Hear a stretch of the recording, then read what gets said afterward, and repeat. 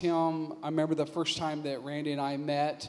I shared a little bit of my testimony, and um, we was out eating, and you know I have a big, big, big, big, huge testimony of just life that I've lived. You know, even up to 16, so much life that I've lived, probably more than most people have ever lived in their whole life, and and I remember Randy saying. Uh, I don't even feel like I have a testimony. You know, I don't know if you remember that or not, but it was kind of those, those words. But he does have a testimony. He does have a heart on fire for Jesus. I've watched him, I've seen it. I've seen his heart for people, and I know that, that he has a heart for the message that God has put on his heart today. So, without further ado, I want to give him all the time we can give him. Randy, would you come up and give us a word for today?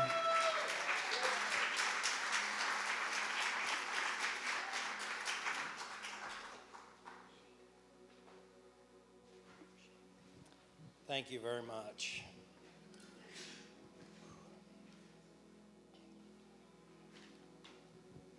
What a privilege and an honor.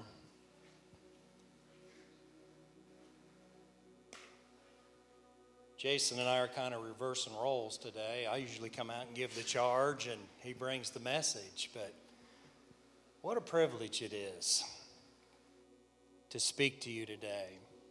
What an honor it is. Thank you. That was some awesome worship. The oldies. Oh my goodness. Melted my heart. Thank you. Happy Father's Day. Amen. Happy Father's Day. I got the privilege of having my grandson here today.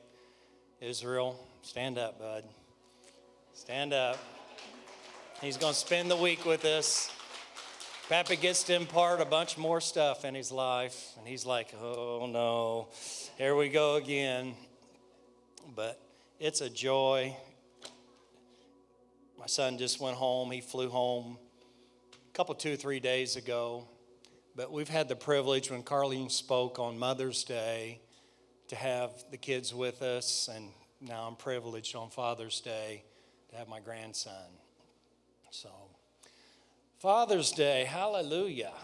Let me give you a little bit, a tidbit of trivia here. Father's Day in the United States, holiday on the third Sunday in June to honor fathers. Credit for originating the holiday is generally given to Sonora Smart Dodd of Spokane, Washington, whose father, a Civil War veteran, raised her and her five siblings after their mother died in childbirth. She is said to have the idea in 1909 while listening to a sermon on Mother's Day. Good things always follow a mom, you know, which at the time was becoming an established holiday. Local religious leaders supported the idea, and the first Father's Day was celebrated on June 19th of 1910 the month of Dodd's father's birthday. In 1924, President Calvin Coolidge gave his support to the observance, and in 1966, Lyndon Johnson proclaimed that day to be recognized. But it wasn't until 1972 when Richard Nixon.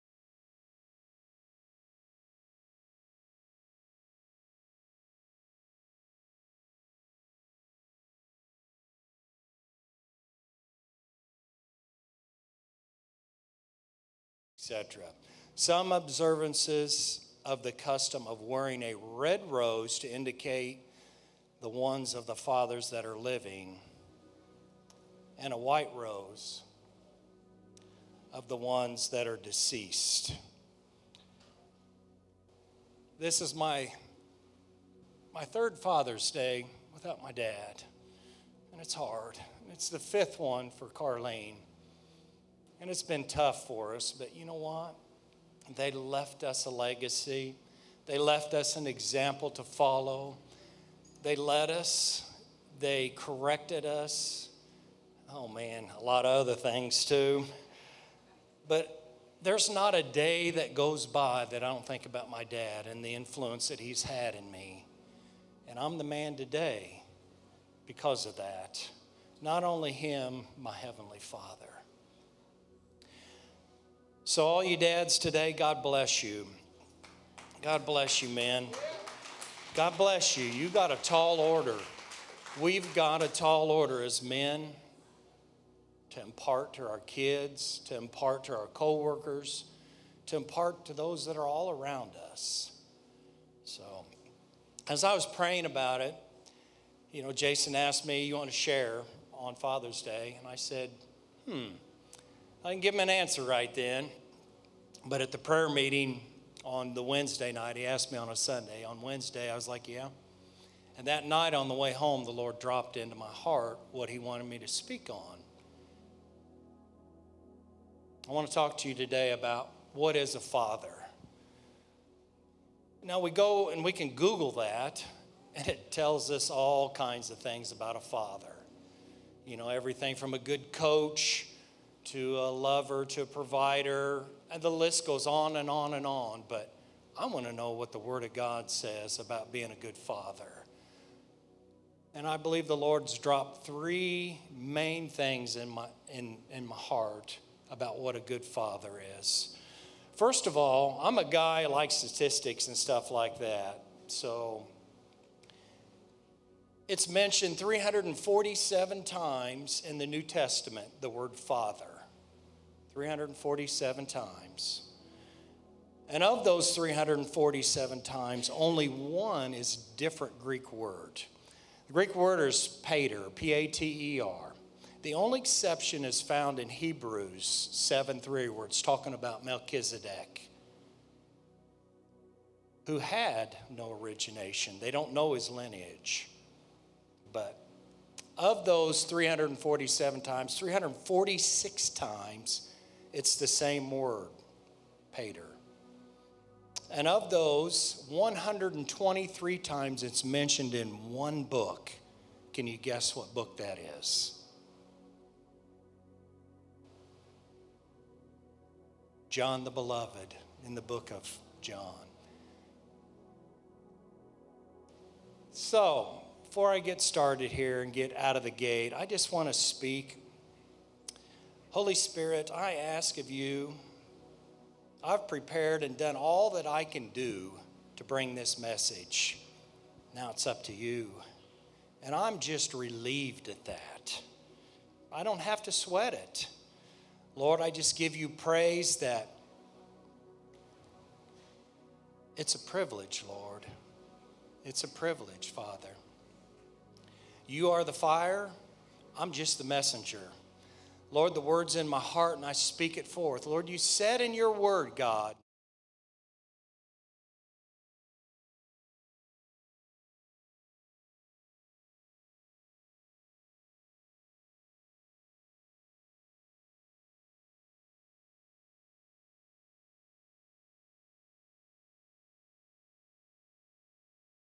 exhibit your power over this congregation. That you heal hearts, Lord, that you mend things, Lord, that may be broken for years, God, that you reconcile differences in our life.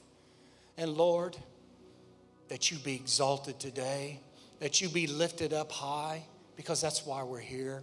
You are the ultimate Father, Lord, and we love you for that. And I speak that in the name of Jesus today. Amen.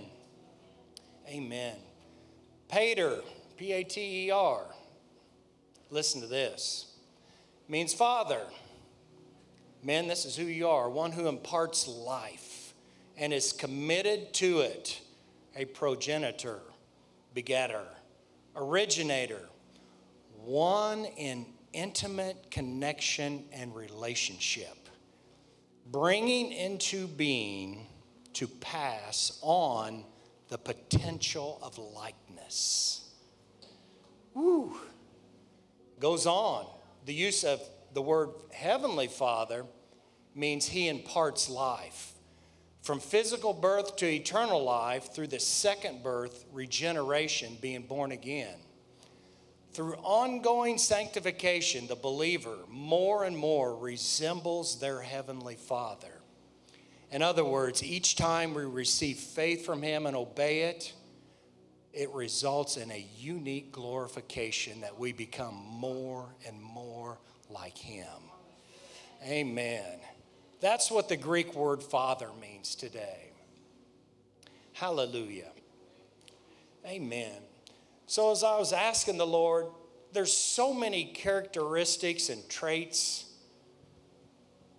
about our Heavenly Father. I said, Lord, how do I narrow it down to just a few? And God has God He is, He just dropped them right in my spirit. So I picked out three in honor of the Father and the Son, Holy Spirit, to just pass on to you characteristic traits of our Father and you, fathers.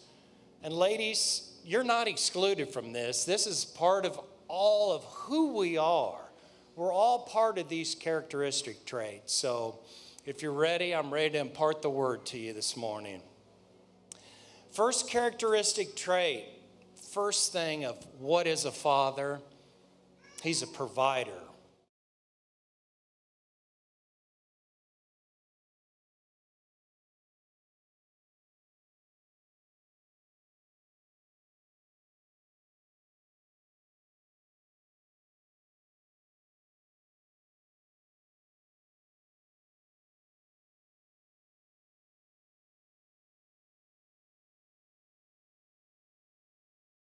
22, 1 through 14, this is the story of Abraham being tested by God.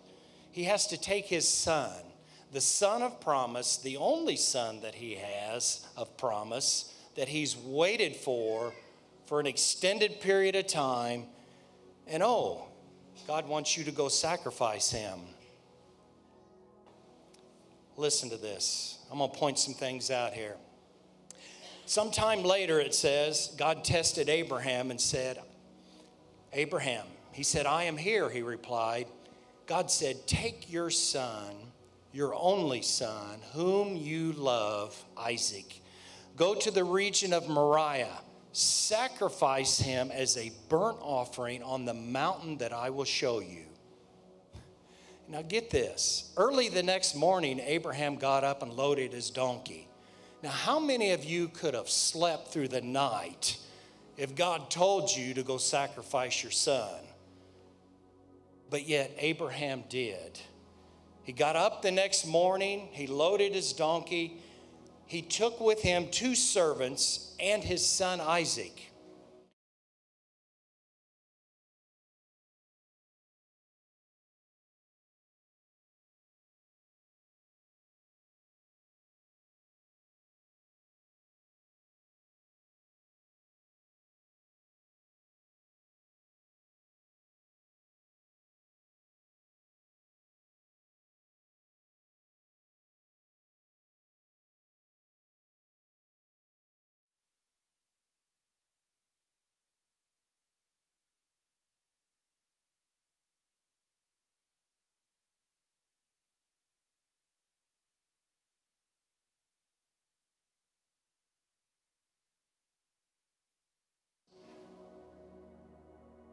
When he saw the place there, he told his servants, Stay here with the donkeys while I and the boy go over there. We will worship and then we will come back to you. He prophesied right there. He had enough faith to know that God was going to have to provide something because he had the promise that that was the son of promise. And he knew even though in the natural, and I want to say to you today, things are going on in your life in the natural, but he had the promise of God, knowing that he was going to return with Isaac. So Abraham took the wood for the burnt offering and placed it on his son Isaac. Remember, Isaac was the son of promise, or he was the son of promise. I remember another son of promise that carried the wood on his back.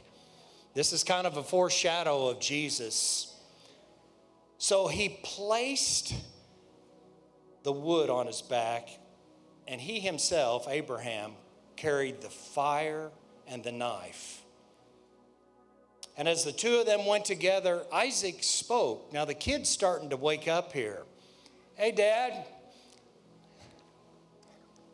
I see the wood and I see the fire, but uh, where's the lamb for the burnt offering? Think about this provider, source. Abraham said, listen to this, talking about a faith filled man, God Himself will provide the lamb for the burnt offering, my son. And the two of them went together. Now keep in mind, he's still under the direction to sacrifice him. But he's also saying in his spirit that there's going to be a provision because he knew the promise. His son was the son of promise. So they reached the place where God had told him. Abraham built the altar and arranged the wood on it. He even bound Isaac and laid him on the altar. Now, this is getting real, folks. And he laid him on top of the wood.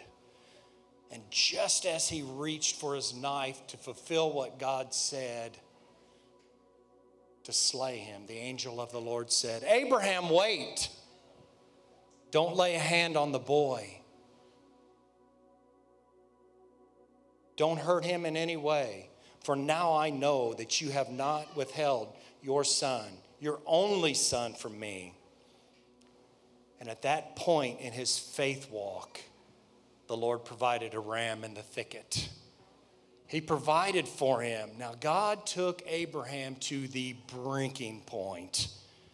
I'm not saying he'll always do that with us, but I'm telling you what, there's been some things in my life that I felt like he's taken me to the breaking point where I was just ready to just thrust the knife down.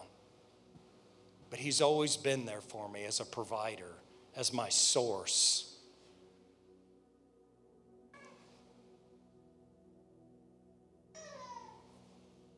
What I want to point out in this story is that Abraham called that place Jehovah Jireh, my provider. I want to say to you today, fathers, you are a provider. You are. You're a provider. Kids look to you, wife looks to you.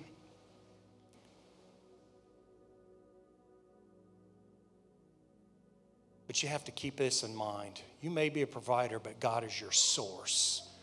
God is your source, and you always got to keep that at the forefront of your thinking. He's our source of life. Like I said there in pater, He's our source of life. He's our begetter. He's our glorifier. He's our intimate Father.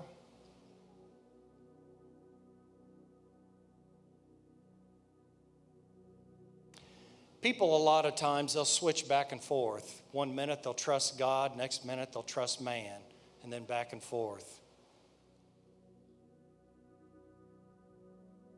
And I know that grieves the heart of God. Think about how precious this thing of provision is. Do you realize God took an entire nation of Israel? He pulled them out of slavery and bondage. He pushed them out into the wilderness. And you know why he did that? Listen to this.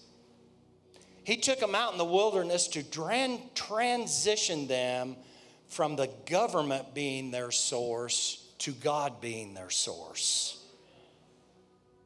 Everything that they did out in the middle of the desert, they had to totally rely upon the Lord. Everything. And did God the Father provide for them? Yes. Let me give you a couple examples of how He provided for them.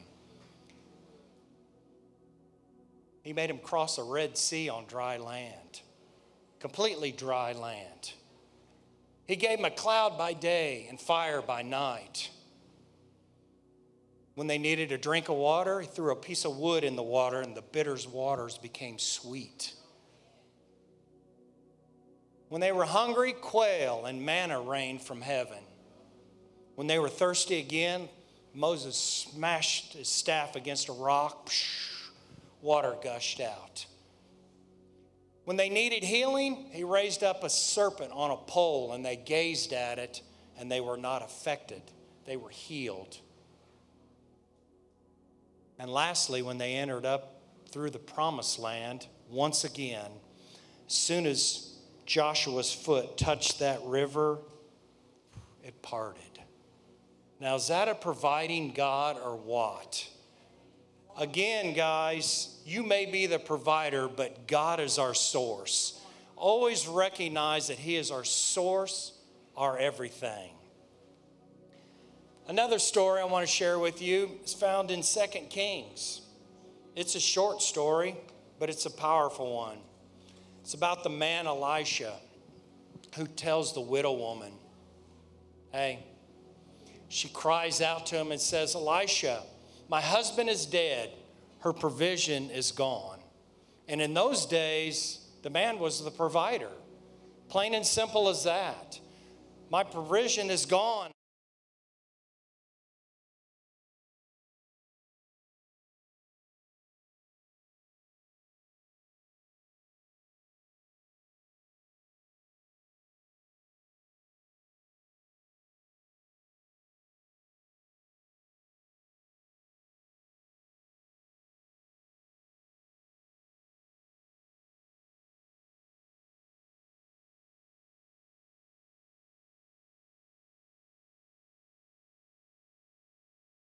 Elisha said, Bring it here. You may not have a lot to offer, but if you got something, God can take what little you have and multiply it over and over and over again. Remember, provider, source. So Elijah said, Go, get as many empty jars as you can from your friends and neighbors, and then go into the house with your sons and shut the door behind you.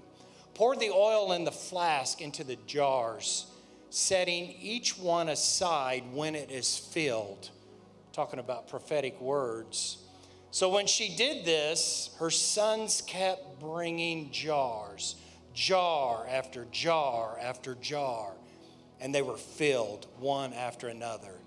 Soon every container was filled to the brim.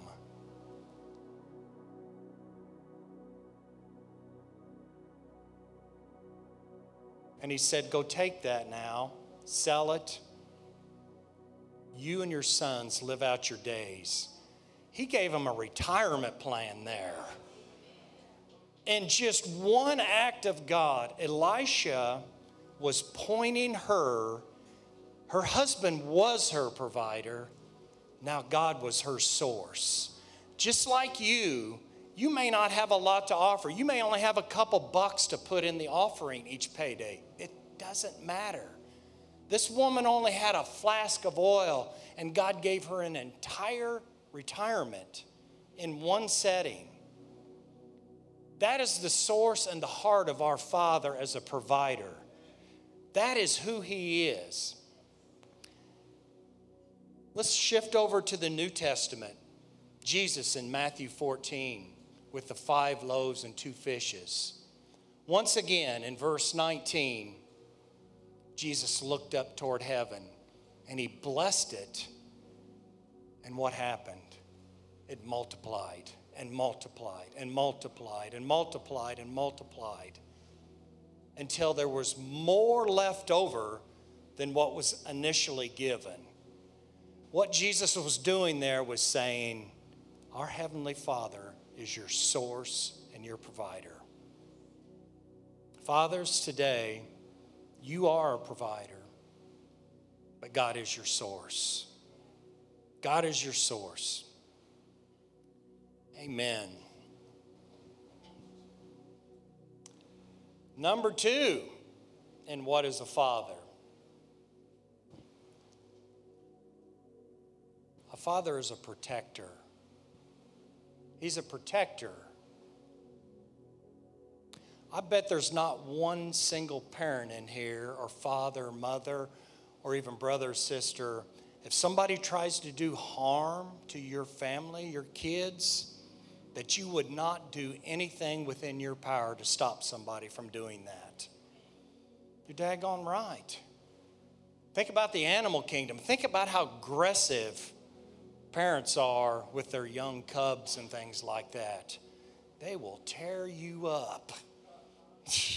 they will tear you up, man. What lengths God will go for you as a protector. As a protector. Fathers, you're a protector today. Listen to this. Almighty Wikipedia here says, uh, the title of a father.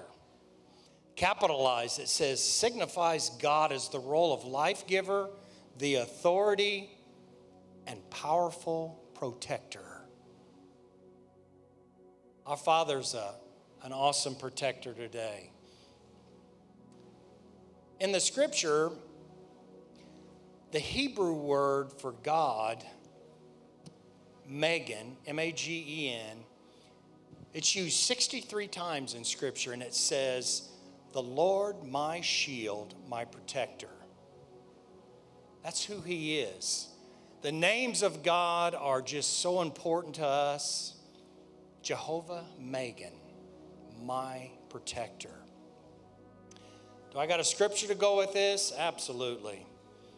Let's turn over to Psalms 91. Now, I don't know about you.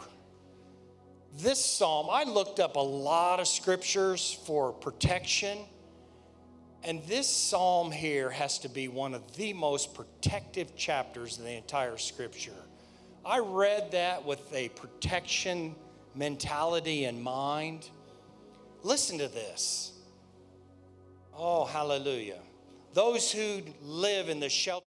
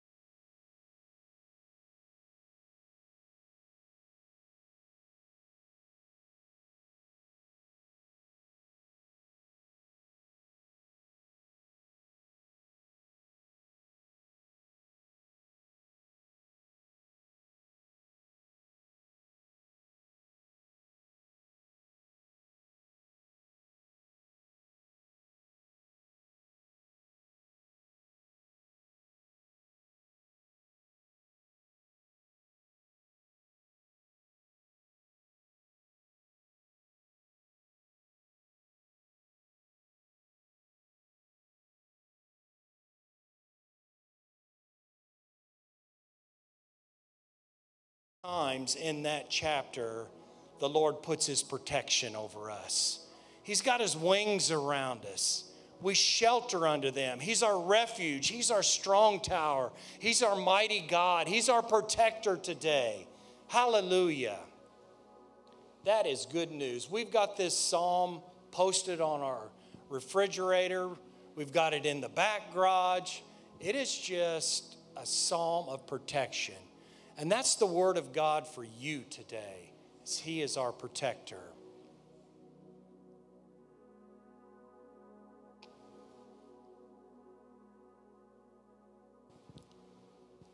There's one more. And probably this is the most important one what a father is. Everything stems from this. Everything we do has to be part of us. If we don't have this, we're absolutely nothing. Lastly, a father is love. He's love.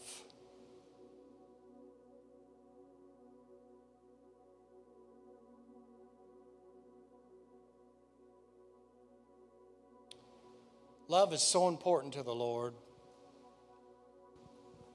it is probably the most defining description of what our Father is. If you go to 1 John 4 and 8 and 16, what's it state? God is what? That's right. God is love. That is the defining quality and characteristic of our Father. And fathers, today, that has to be the defining quality and character of who you are in your household. Everything we do has to stem from love. Everything. Every single thing.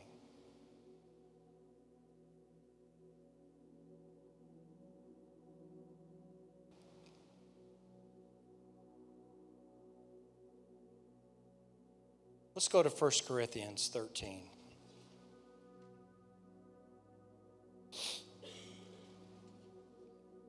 Now, this is interesting. I was reading this. He doesn't start off by telling us what love is. He goes, he tells us basically what it's not. Listen to this. It says, If I could speak all the languages of the earth and of angels, but I don't love each other, I would be nothing more than a noisy gong or a clanging cymbal. Listen to all the extremes he goes through here. If I have the gift of prophecy, and if I understood all of God's secret plans, and I possessed all knowledge, and if I had such faith that I could move a mountain, but I didn't love others, I would be nothing. If I gave everything I had to the poor, and if I even sacrificed my body on the altar, yeah, I could boast about it. But if I didn't have love, I would profit nothing.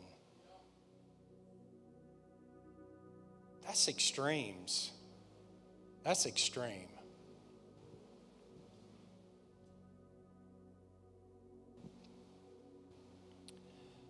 Matthew 22, Jesus approached by the Sadducees trying to trick him again, like they've been, they tried to do all along.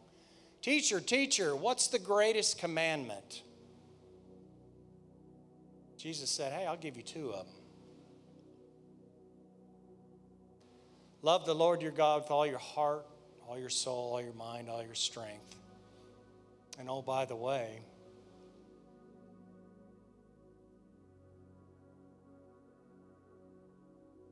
Love others as yourself.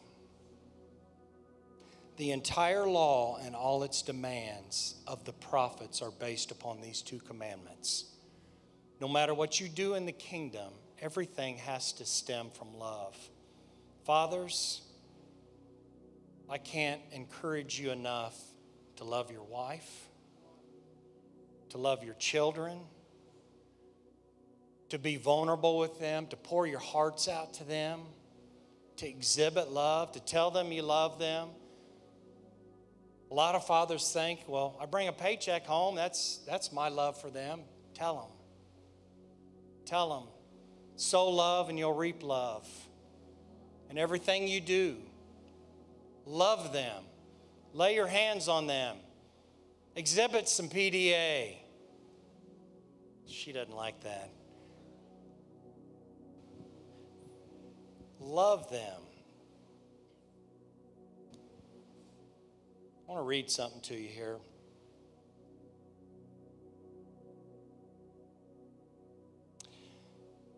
About Jesus. Jesus is the image of the invisible God and the exact representation of God's nature. The nature of the Father is the same as that of Jesus. He is love. And because God is love, everything He does is out of His love for us.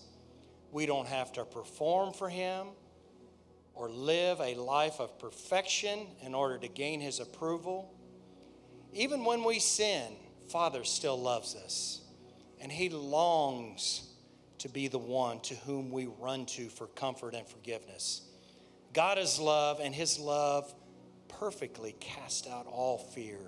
Everything Jesus did on earth, including his sacrificial death on the cross, shows us the heart of the Father heart of love and compassion, not one of judgment and wrath. That's who our Father is. Scripture tells us that Paul said, Be imitators of me as I'm imitators of God. Fathers, today love well. Love well.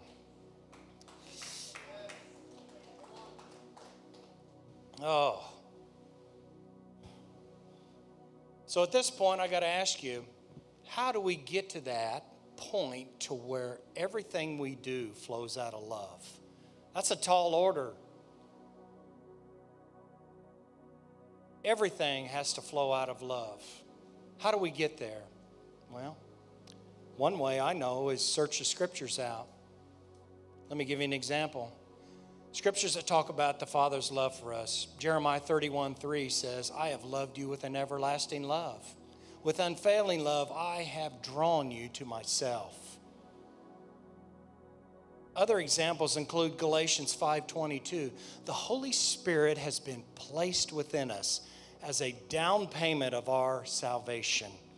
He's not only there for that, he bears fruit in our life. And what's the first characteristic of the Holy Spirit's fruit? Love. Love, joy, peace, patience, kindness, goodness, gentleness, faithfulness, self control. That's who you are. That's who He is within you. So the pressure's not all on us, guys and gals. This is just not a men's only sermon. He's provided us our source with all of these things that we need to flow in this love. Galatians 5:22 The fruit of the spirit is love first and foremost. Romans 5 5.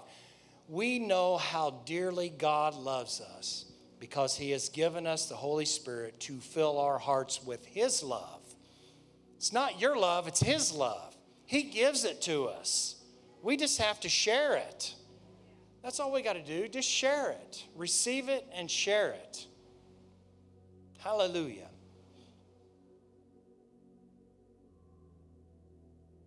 Here's the biggie. If you want to flow in the Father's love, you have to spend time with the Father. If you want to know love, you got to know the source of love, and that's God.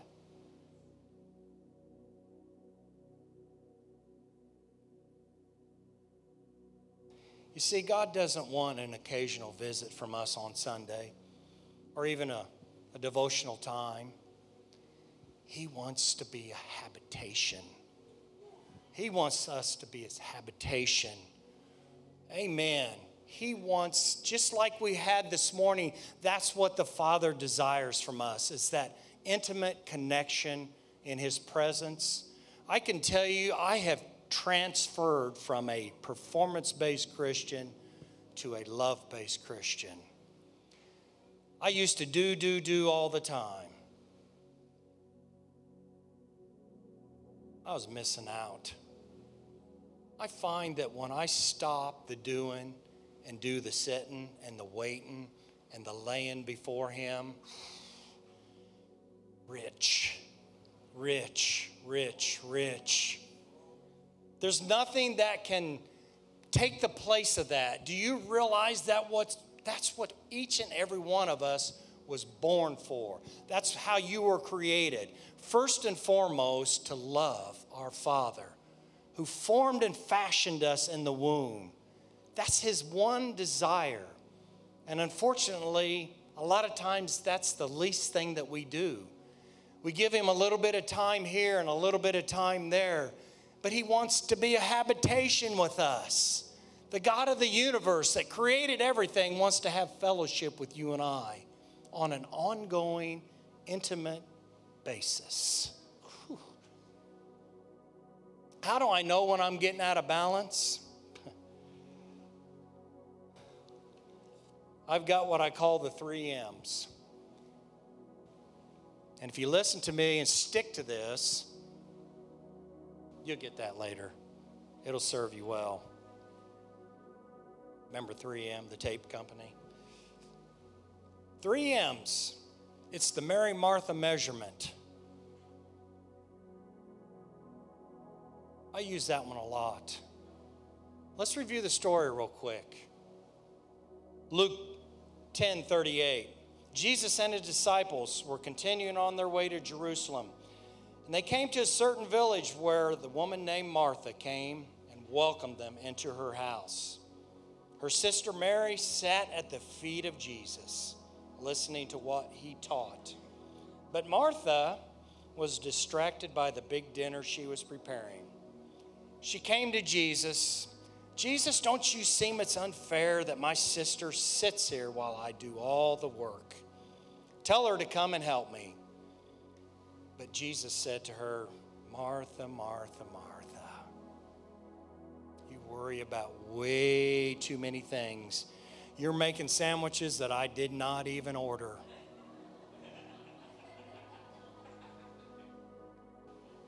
Mary, though, has discovered the most important thing, and it will not be taken from her. Fathers, today, love. Yes, you are a provider. Yes, you are a protector. But number one, you're a lover. Church, you're a lover. And we got a hurt and dying world out here that needs to see love because there's a whole lot of ugliness going on out here. We got to be so saturated with the Father's love that when people even get into our presence, they know something's different. That's because the love and the presence of our Father radiates from us. And the only way I know to do that is to spend time with Him. Bill Johnson says, You become what you behold. So, what are you beholding today?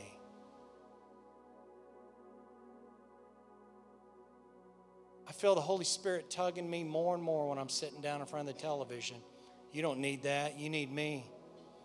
Come talk to me. I'm out busy doing something.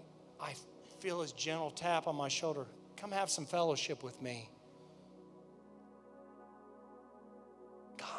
Wants to fellowship with me and you.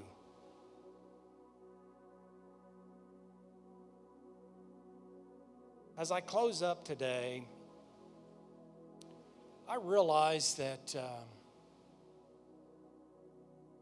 I was blessed to have a great father.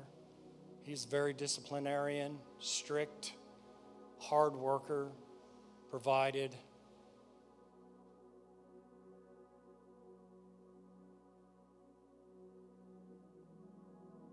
But I'm sure there's those of you out here that's bearing some heartache. Maybe you've been abused, neglected. I know there's a lot of verbal abuse kind of growing up in the era that I grew up in, the 60s there.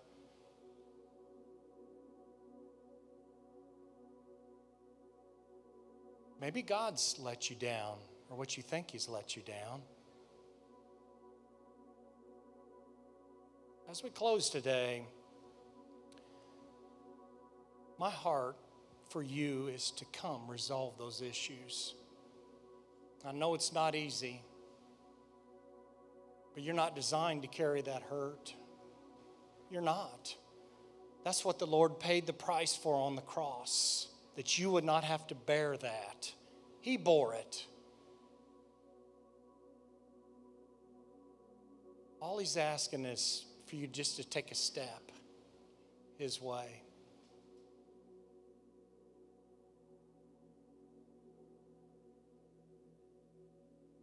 Faye, could you give me a little ambient music, please? So, what we're going to do, we're just going to open up the altars here. I don't know what the Lord's going to do here today. He's already done enough. But maybe,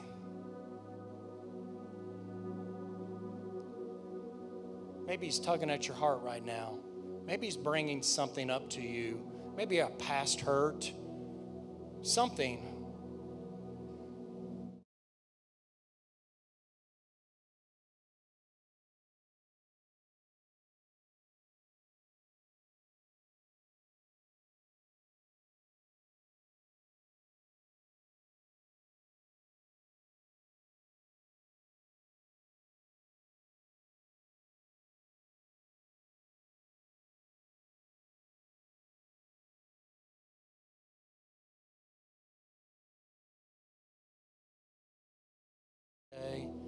It's an honor and a privilege. This is I feel right at home right here. I do. It's I've been in front of people for a lot of years. People always ask, "Do you get nervous?" I'm like, "Nah. I'm here with family. I mean, we're family. If I screw up, so what? It's just it's my time to just talk to the family. I mean, it's okay. This is what I want most than anything. Is people to come, to get healed, to have a touch from our Father who loves us, who provides for us, who's our source, who's our everything. In Him we live, move, and have our being. So God bless you today. Come. Let the Father take your hurts and your pains away and let Him replace it with His love. God bless you.